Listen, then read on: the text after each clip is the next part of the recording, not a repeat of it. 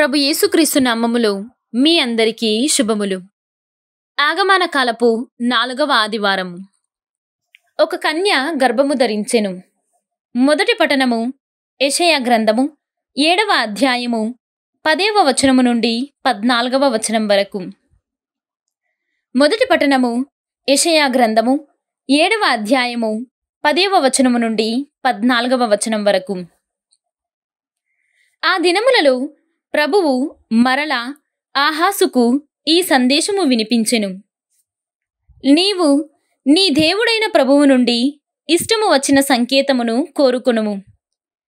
ఆ సూచనను పాతాళము క్రింది నుండి అయినా లేక ఆకాశము పైనుండి అయినా చూపింపుమని ప్రభువును అడుగుకొనవచ్చును.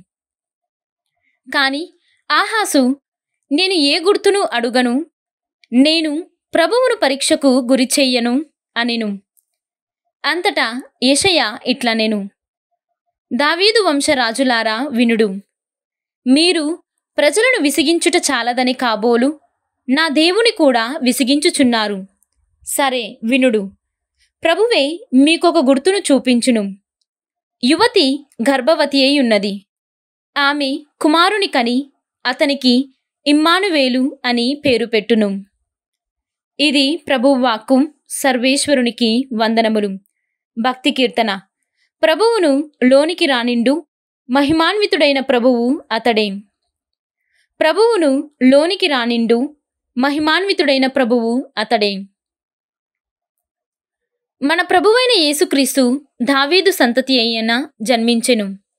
ఆయన దేవుని కుమారుడు. రెండవ పఠనము పునిత చిన్నప్ప గారు రోమేలకు రాసిన లేఖ ఒకటవ అధ్యాయము ఒకటవ వచనము నుండి ఏడవ వచనం వరకు. రెండవ పఠనము పునిత చిన్నప్ప గారు రోమేలకు రాసిన లేఖ ఒకటవ అధ్యాయము ఒకటవ వచనము నుండి ఏడవ వచనం వరకు.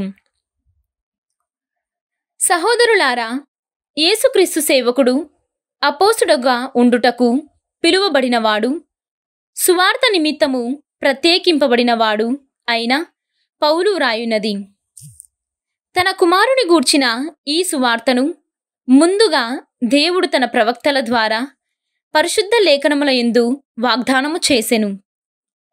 మన ప్రభువైన యేసుక్రీస్తు మానవుడుగా దావీదు సంతతిలో జన్మించెను.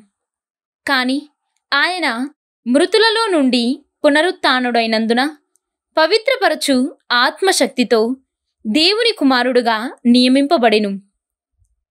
అన్ని జాతుల ప్రజలను ఆయన నామమున విశ్వాసమునకు విధేయులగునట్లు చేయుటకై దేవుడు నాకు ఆయన ద్వారా తన అనుగ్రహమును అపోసులత్వమును ఒసగెను.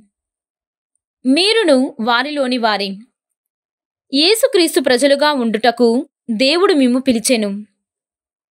రోము నగరమునందలి పరిశుద్ధులుగా ఉండుటకు పిలువబడిన దేవుని ప్రియులందరికీ శుభమును కోరుచు వ్రాయున్నది.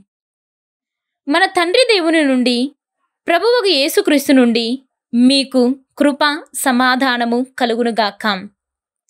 ఇది ప్రభువాకు సర్వేశ్వరునికి వందనములు.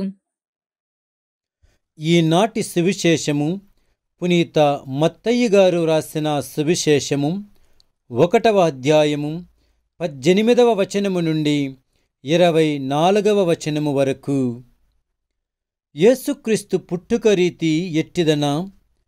ఆయన తల్లి అయిన మరియమ్మకు ఏసేపుతో వివాహమైనది.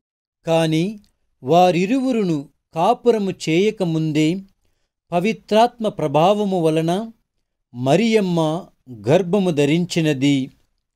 ఆమె భర్తయగు యోసేపు నీతిమంతుడగుటచే మరియమ్మను బహిరంగముగా అవమానింప ఇష్టము లేక రహస్యముగా పరిద్దెతించుటకు నిశ్చయించుకొనెను.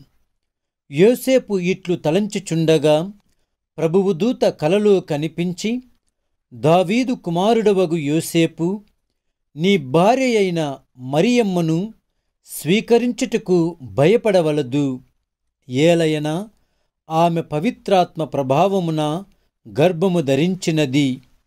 ఆమె ఒక కుమారుని కనును. నీవు ఆయనకు యేసు అను పేరు పెట్టుము.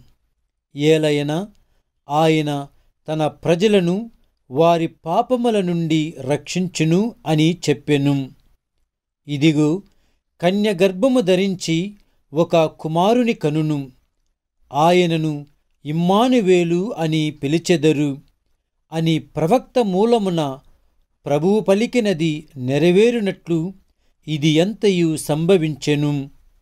ఇమ్మానువేలు అనగా దేవుడు మనతో ఉన్నాడు అని అర్థము. నిద్ర నుండి మేలుకొనిన యోసేపు ప్రభువు దూత ఆజ్ఞాపించినట్లు తన భార్యను స్వీకరించెను. ఇది క్రీస్తు సువిశేషము. క్రీస్తువ మీకు స్థుతి కలుగునుగాక.